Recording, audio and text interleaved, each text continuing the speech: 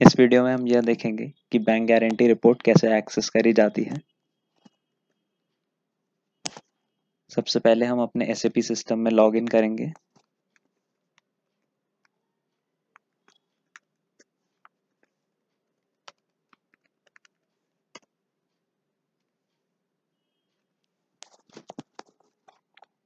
अब हम transaction code ZBG enter करेंगे।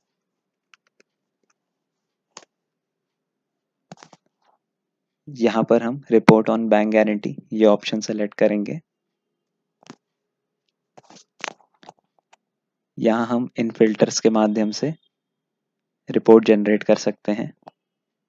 सबसे पहले हम कंपनी कोड डालेंगे।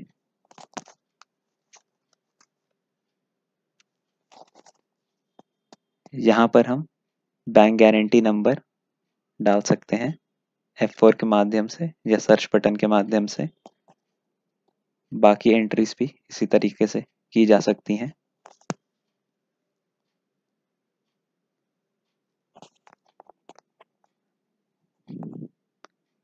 अब मैं यहाँ से बैंक गारंटी सेलेक्ट करूँगा और फिर एग्जीक्यूट बटन पे क्लिक करूँगा।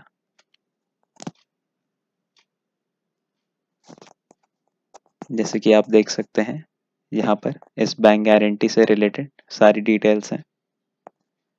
अगर इससे रिलेटेड कोई स्कैन कॉपी अपलोडेड है तो वो हम यहाँ से देख सकते हैं। अगर कोई अप्रूवल डॉक्यूमेंट अपलोडेड है तो वो हम यहाँ से देख सकते हैं।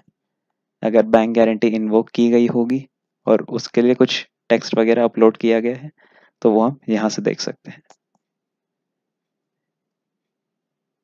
यहाँ से हम सारी डिटेल्स देख सकते हैं कि कौन से यूज़र के द्वारा ये बैंक गारंटी क्रिएट गई थी।